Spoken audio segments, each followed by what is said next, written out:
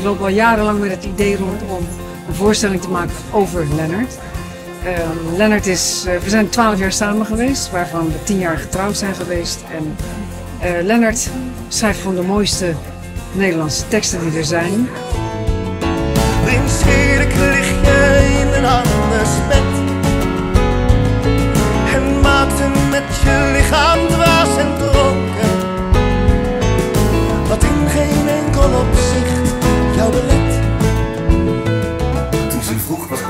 Want ik, uh, ik vind die liedjes heel mooi.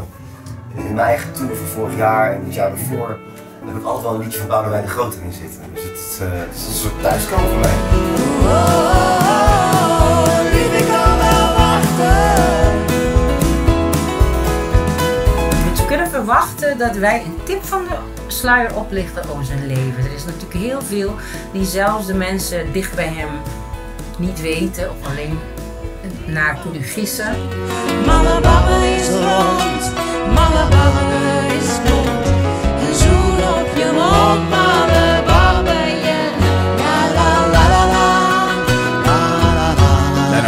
Heemstede en ik ook.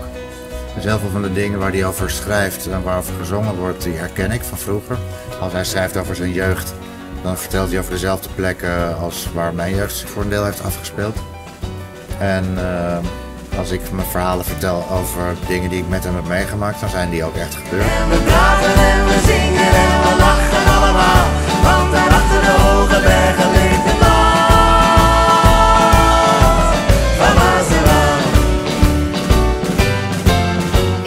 Curaçao opgegroeid en zoals ik in de voorstelling al verteld, het is echt waar. Het enige liedje wat ik kende was Jan Klaassen. Jan Klaassen was de vechter in het leger van de prins. Hij marcheerde van den Helder tot den.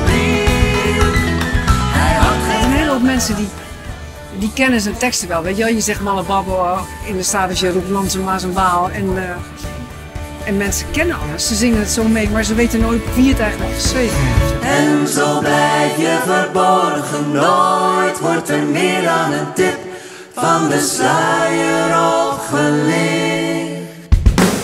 Het is een spannend avontuur, om het zo te zeggen. Maar de mooiste liedjes komen voorbij. En Weet je wel, dat raakt je recht in je hart. En ik, ik zie het ook gebeuren bij het publiek. Ik zie het gewoon.